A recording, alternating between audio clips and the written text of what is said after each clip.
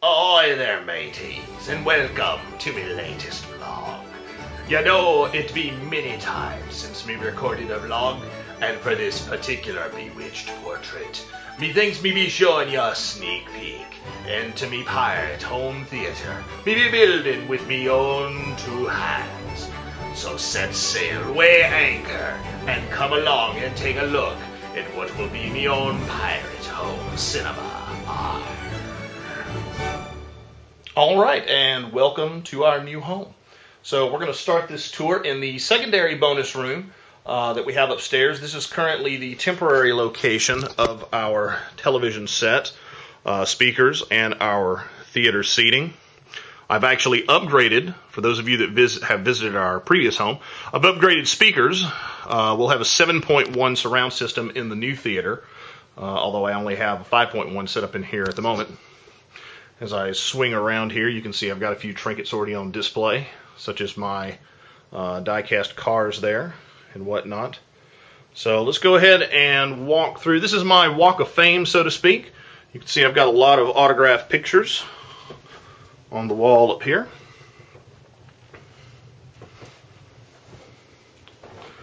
Many, many Star Trek autographs.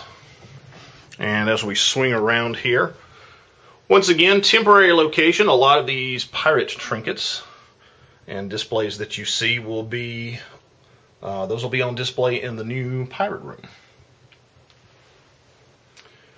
And that leads back to downstairs there. There's our hearth area down that way.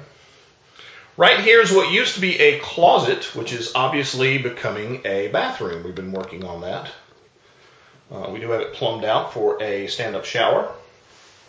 And it's rather interesting. If you look here, you can see where the door used to be when we first moved in. Uh, but based on my theater design, I didn't want that door there, and we had talked about making this a bathroom in any case. So we moved, or I moved, a little bit of help from my dad-in-law there, uh, this doorway to right there, and I've uh, spent a lot of time walling that up. Just about ready to paint it, I think. So let's go ahead and head in to the theater, or what will be the theater. Still a lot under construction, but I do have several things dressed out. Uh, lanterns, windows, with a nice view there, that which is a painting that I did uh, a few weeks ago. And that window is backlit with some blue lighting there. Um, very dark. In fact, let's see if we can get a little additional light going on here.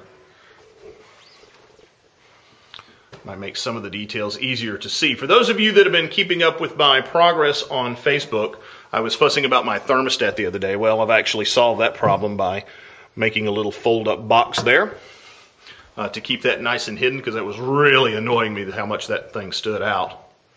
Uh, just recently, the most recent thing I've finished is this column right here with the lantern, uh, which means all of the elect all of the lighting for this particular room, even though the room's not itself complete, uh, the lighting is complete. This is all the lighting you'll have. We have halogens, which will accent some things we can put on the wall.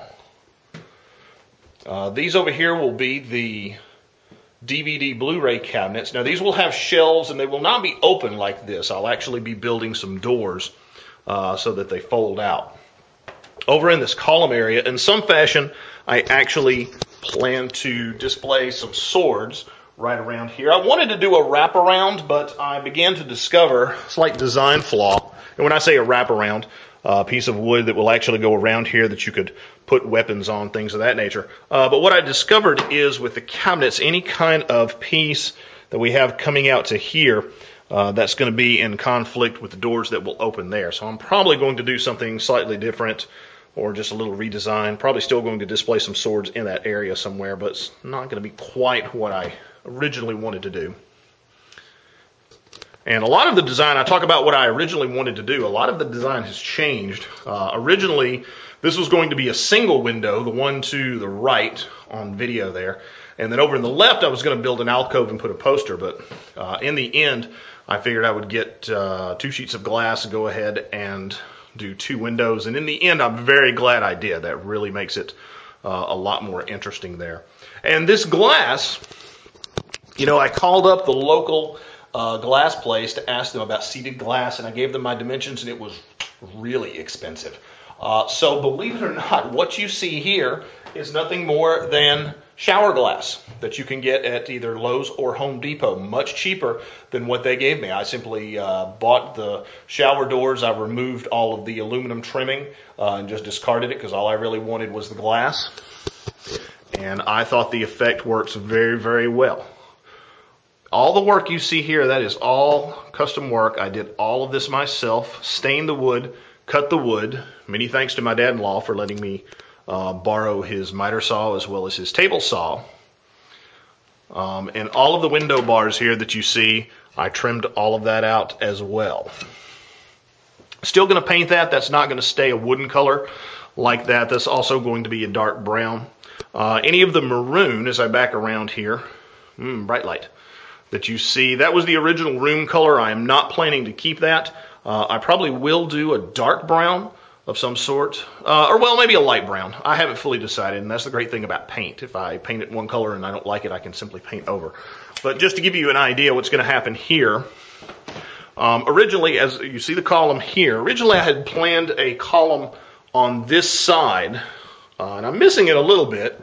Uh, my eye just sort of wants to see that column on the other side. What I am planning to do, however, is I'm going to dress this wall out. There's actually going to put uh, a faux column, if you will. It'll be uh, up against the wall, come here, come down there, and hopefully that will uh, give this support beam right up here uh, some conformity. Uh, but in any case, once again, plans change. Originally, we were going to have a serving bar in this area here, and I decided I really didn't want it uh, so close to the doorway there. So the reason I eliminated this other column from the design, this is where we plan to put our serving bar, right in this area right there. Uh, that hanging lantern that you see, I'm not entirely sure that's where it's going to stay uh, because I'm really going to want that to be over the bar area. But um, it's, it'll be easy to move. I can simply uh, remove that screw, relocate it. I can shorten the chain if I need to. Um, I'm certainly, there's not going to be any need whatsoever to lengthen it. So, all right, this wall here will eventually be planked out, although it may be one of the last things I do, or near to the last things I do. I still have to finish some electrical work um, for this wall for the main theater. And as you look here, you can see some railing. I actually have planned to have a ship's wheel mounted to that middle post right there, uh, about a four foot ship's wheel. Going to have to order that eventually. Uh, any of the padding you see here is padding left over from the old carpet. That will not stay. I have hardwood flooring on order. Hopefully that'll be in soon. Because uh, probably when it does come in, that'll be something I go ahead and put down. I'll stop everything else and go ahead and get the flooring in. Here you can see where the switches will be for the main theater area. It's a four gang box. I'll actually have four switches. And what those switches will control, I'll have some lanterns uh, that will be going in these boxes as well as a couple near the front there. Uh, I will also have three sets of rope lights. I have a couple installed, a white rope light along the baseboard down here at the bottom. You won't see the light directly, uh, but you'll have some incandescent light that'll, walk, that'll light the walkway area here. And these rope lights are really inexpensive, and a lot of this theater is all about budget. It's all about budget. Um, take a look right here. Uh, you'll see these are some purple rope lights. I've also have some amber. I'm going to have two different colors uh, that will go along the walls right at the point where the angle starts to give you some ambient sky lighting. I chose amber and purple because I was looking for sunset colors. So I think that's going to turn out pretty neat as well. All of these sides right here, the reason the black's only painted down to a certain point, uh, will be planked out. There'll be planking all along the sides.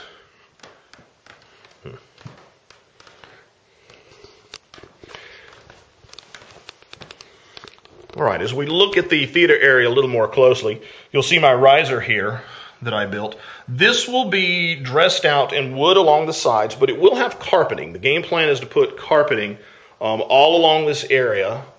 This will be a section for theater seats. Those video rockers will not stay. That's not the theater seating. And another row of theater seats will go right here. Now, for starters, we'll end up using our theater seats that we have. Um, and they're not really, to be honest, designed for this particular theater design. There's a row of four that's curved. I'll split them apart. We'll have two, two. Uh, so for it will be seating capacity of one, two, three, four, five, six, seven. Three people could sit at the bar. Uh, ultimately, we plan to, hopefully sooner rather than later, we're actually going to uh, get some new theater seats that where we can fit three seats per row. So we'll have one, two, three, four, five, six, then seven, eight, nine. This will be hardwood flooring all through here. And as I said, all of the riser will be carpeted on top, and there'll be a carpeted area right out here in front where this front row of seats go. Um, as we take a look, and it's, whoa, very bright. That window will ultimately be covered. Um, not going to use it. I'll take a piece, uh, paint it black, tack it up there, uh, but you won't ever see it because by the time we plank out this particular wall, and there's the audio video cabinet right there in the center, and the right hand speaker there. We'll go over there on the left hand side of the frame. Uh, down below, that's where I plan to put my subwoofer in a cubby hole right down in there. The left hand speaker here and over here, you'll notice a fairly large op opening. I'm going to make a door. That's just going to be a little storage area. I'm probably not going to do any dressing on the back side of this particular wall.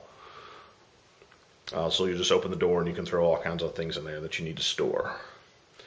And where a lot of my tools are at the moment, that is where the television will go. We have a 67 inch screen. It's a Samsung high definition TV. Uh, now, part of the game plan is to have some sails so to speak. Have a couple of bars stretching across the top uh, where we'll have just some fabric hanging down as if these sails are folded up. Uh, not only is this decoration, but it will serve double duty in helping to uh, just absorb sound, since we will have a lot of wood in here, some hardwood flooring, things of that nature. Uh, plan to do rigging along the sides. That's going to be a lot of just decoration after the room is mostly structurally finished. All right, well, I hope you enjoyed my little sneak peek into my pirate themed home theater I'm working on. Obviously, there's still a lot of work to do, um, even though a lot of it's starting to come along and come along well, I think. Uh, but in any case, I'll try to do vlogs a little more often, giving you guys that are interested an update uh, as to what's going on. So uh, I hope you enjoyed it. If you have any questions or anything or comments, feel free to ask or leave them on Facebook or even in the comment bar below here on the YouTube channel. So, in any case, this is Commander Dan signing off and telling you to keep a weather eye. Arr.